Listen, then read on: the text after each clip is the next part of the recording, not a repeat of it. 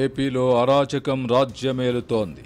ప్రభుత్వ కార్యాలయాల్లోనే కాదు గుడులు బడులు ఎక్కడ చూసినా అవినీతి అరాచకాలే. బెజవాడ కనకదుర్గమ్మ దేవస్థానంలో మితిమీరిన రాజకీయ జోక్యం మంత్రి కనుసన్నలలో అధికార యంత్రాంగం పవిత్ర దేవాలయాన్ని గబ్బు పట్టించి దుర్గమ్మ ఆలయ ప్రతిష్ట మసగా బారుస్తున్నారు. ఈ వ్యవహారంపై దమ్మున్న ఏబిఎన్ ఆంధ్రజ్యోతి అందిస్తున్న డీజే న్యూస్ ఇది.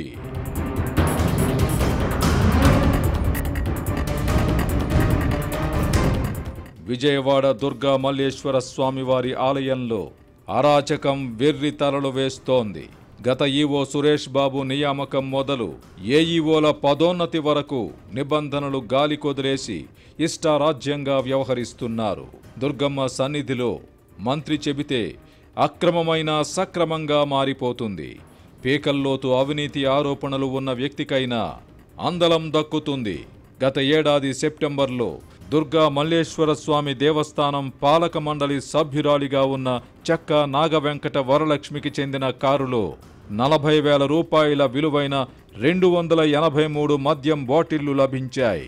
అక్రమంగా రవాణా చేస్తున్న వాటిని స్పెషల్ ఎన్ఫోర్స్మెంట్ పోలీసులు స్వాధీనం చేసుకున్నారు. జగ్గయ్యపేటలో జరిగిన ఈ ఘటనలో వరలక్ష్మి కుమారుడు కారు డ్రైవర్తో పాటు మరో ఇద్దరిని పోలీసులు అరెస్ట్ చేసి కేసు నమోదు చేశారు. ఈ కేసు ప్రస్తుతం కోర్టు విచారణలో ఉంది. ఈ ఘటన తనకు తెలియకుండా జరిగిందని అప్పట్లో మీడియాకు వివరణ ఇచ్చిన వరలక్ష్మి తన కారులోనే అక్రమ మద్యం దొరికినందుకు నైతిక బాధ్యత వహిస్తూ ట్రస్ట్ బోర్డు సభ్యత్వానికి రాజీనామా సమర్పించారు. ఆమె రాజీనామాను ఆమోదించినట్లు పాలక మండలి చైర్మన్ పైలా సోమినాయుడు ప్రకటించారు. దీంతో ఖాళీ అయిన స్థానంలో వేరొకరికి స్థానం కల్పించకుండా ఇంతవరకు అలాగే ఉంచారు. కాగా తన పదవి తనకు కావాలంటూ వరలక్ష్మి గత నెల ఒకటో తేదీన చైర్మన్ పైలా సోమినాయుడికి లేఖ రాశారు. ఆ లేఖపై వెంటనే ఆమోదముద్ర పడిపోవడం ఆమె పాలక మండలి సభ్యురాలిగా చేరిపోవడం ఆగమేఘాలపై జరిగిపోయాయి. వరలక్ష్మి పాలక మండలి సభ్యురాలిగా చేరడం వెనుక మంత్రి స్థాయిలో పైరవీలు నడిచాయి. మంత్రిది ఆమెది ఒకే సామాజిక వర్గం కావడంతో కులం కార్డు పనిచేసినట్లు ఇంద్రకీలాద్రిపై చర్చ నడుస్తోంది. మరోవైపు పెద్ద మొత్తంలో సొమ్ములు చేతులు మారాయన్న ఆరోపణలు ఉన్నాయి. ఈ నేపథ్యంలోనే వరలక్ష్మిని తిరిగి నియమించాలని సిఫార్సు చేస్తూ మంత్రి లేఖ ఇచ్చినట్లు చెబుతున్నారు.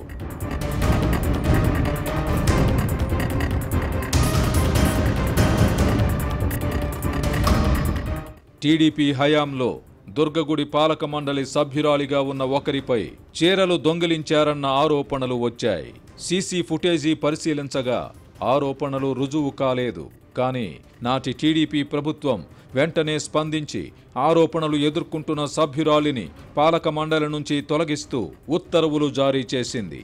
దుర్గగుడిని రాజకీయ వివాదాలకు దూరంగా ఉంచాలన్న సంకల్పంతో అప్పటి టీడీపీ ప్రభుత్వం అలా స్పందించింది. అయితే ప్రస్తుతం ఆ విధంగా లేదు.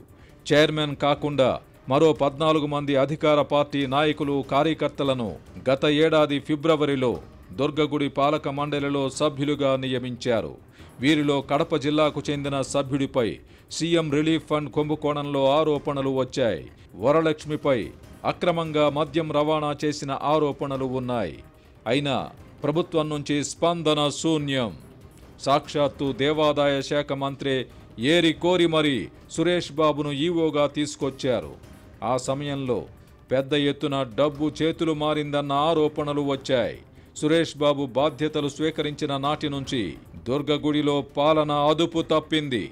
కాంట్రాక్టులను తమ బినామీ సంస్థలకు కట్టబెట్టడం మొదలు అసలు నిర్మాణాలే చెయ్యకుండా కోట్లాది రూపాయలు డ్రా చెయ్యడం వరకు అడ్డగోలు దందాలకు ఇంద్రకీలాద్రి వేదికయ్యింది. మంత్రి అండతో ఈవో ఇష్టారాజ్యంగా వ్యవహరించడం వివాదాస్పదమయ్యింది.